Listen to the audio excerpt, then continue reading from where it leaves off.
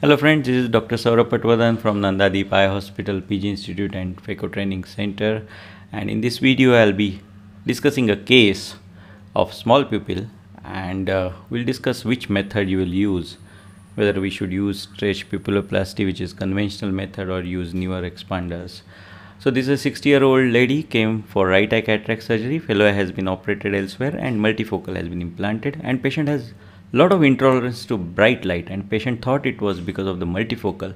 But when I examined the patient you can see the reason for intolerance to bright light is the dilated poorly reacting pupil possibly because of stretch pupilloplasty was tried during the surgery of the other eye and sphincter tears led to this dilated fixed pupil.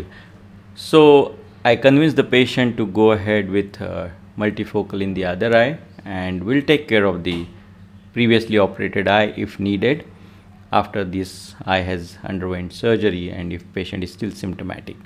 So patient has blue iris you can see here and uh, these uh, kind of iris is uh, thin and if you use stretch pupilloplasty for such iris then it may lead to sphincter tears and particularly for cases where you want uh, the pupil to be reactive afterwards like in cases where you want to implant the trifocal or multifocal IOLs, uh, you don't want to do the stretch pupilloplasty.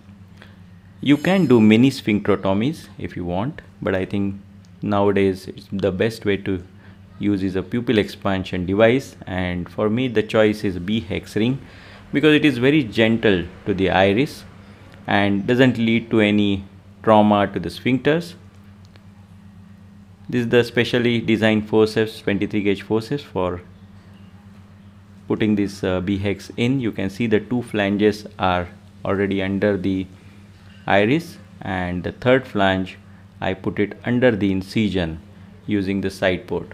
And then we can center this ring.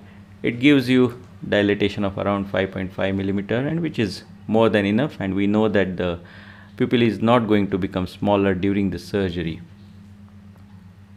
so this much of stretch on the pupil is quite enough for the surgery and it is not going to cause any sphincter damage which I am sure of.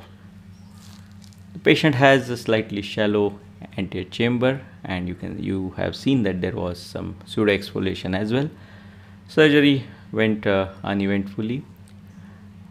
The pupil expansion device helps you in ease of the surgery. The other methods of uh, doing pupil expansion of sphincterotomy or stretch pupilloplasty can be done in special cases but I think with these kind of devices available to us and at reasonable cost I think patients should get benefit of these devices. So whenever required I think it's better to keep these devices handy in your OT and the uh, technique of using this is quite simple there are many instructional videos available so any surgeon can get this technique right right from the first surgery itself.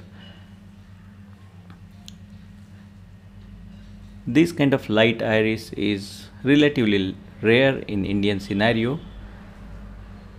but whenever you have a patient with this kind of light iris you have to be more careful uh, with the iris you don't want to traumatize the iris because uh, unlike the dark iris patients with these kind of iris the pupil dark pupil is visible and if it is uh, disfigured then it is also visible.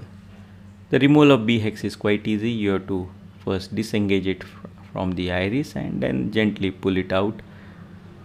You can see that uh, there is no damage to pupil after removal also there is some pigment release because of the pupil ruff where we are putting the B-hex ring. But otherwise the pupil looks quite healthy. Trifocal IOL is inside. Uh, to take care of the against the rule astigmatism of around 0.75 diopters I enlarged the incision little bit. So these kind of small modifications will improve your trifocal IOL results so anterior chamber is well stable that's the end of the surgery and post operatively you can see nicely reactive pupil of good size and as compared to the other eye definitely patient has much better quality of vision uh, binocularly patient is quite happy so I'm going to leave the other eye as it is but otherwise I could have done a pupilloplasty for the other eye. So for more such videos you can visit our website and do subscribe to my YouTube channel. Thank you.